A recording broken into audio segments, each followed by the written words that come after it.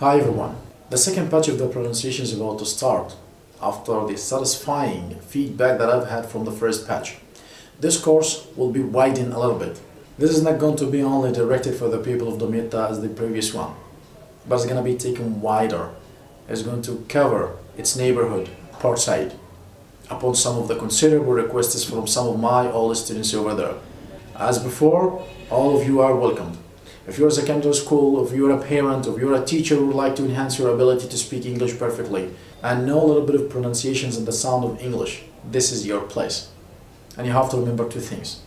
Number one, regardless, no matter how you think well educated you are, you'll be getting something new to learn.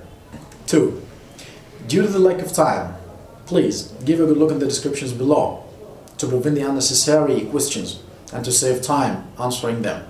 It is time we thought about how well we should pronounce English and how accurate our language should be. It is time not to do the same old mistakes we've been doing all our lives. It is time to correct them.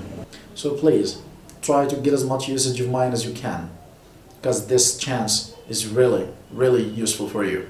Having said all of that, I'm here also going to announce that soon enough I'm going to start the course of English Arabic that allows you to speak English in three months.